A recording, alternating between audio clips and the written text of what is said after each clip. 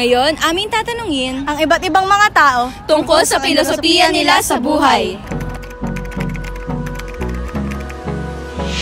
So, what is your philosophy in life? uh, my philosophy in life, uh, as per Hel- Helen Keller, uh, be happy with what you have while working for what you want. Um, kasi ako yung tipo ng taong madaling, hindi naman masasabing kontento, pero na-appreciate ko yung mga small values ng kung ano yung meron ako.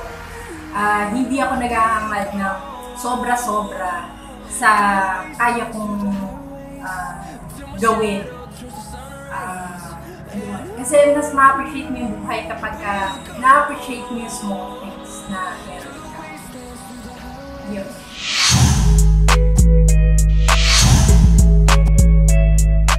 What is your philosophy in life? Well, uh, my philosophy in life is so simple. To give my children a better uh, future.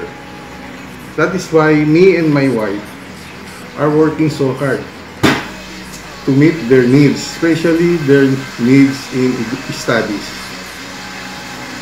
I want them to finish their studies in a reputable school so that they have a bigger opportunity to find a better job and to become a better person.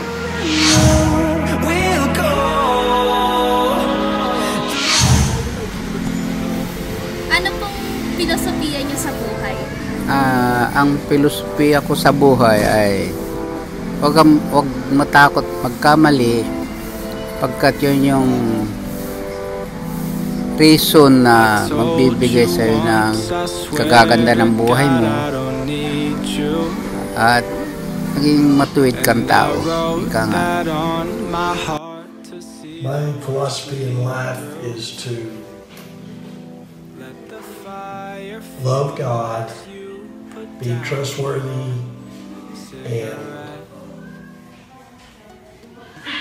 to always be respectful of others and also to follow your heart when it comes to love and never give up on uh, finding true love for your whole life. And um,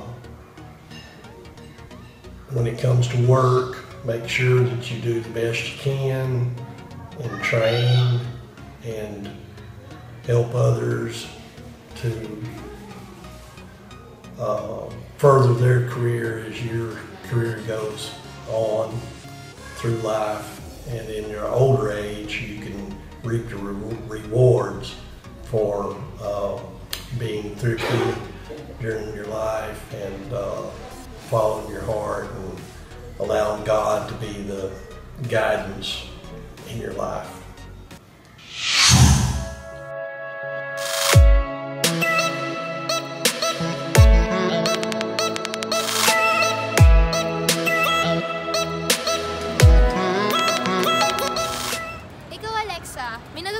Sa mga ini-interview natin? Oo naman. Talaga magagamit ko sa totoong buhay ang mga filosofiya nila. Turn down for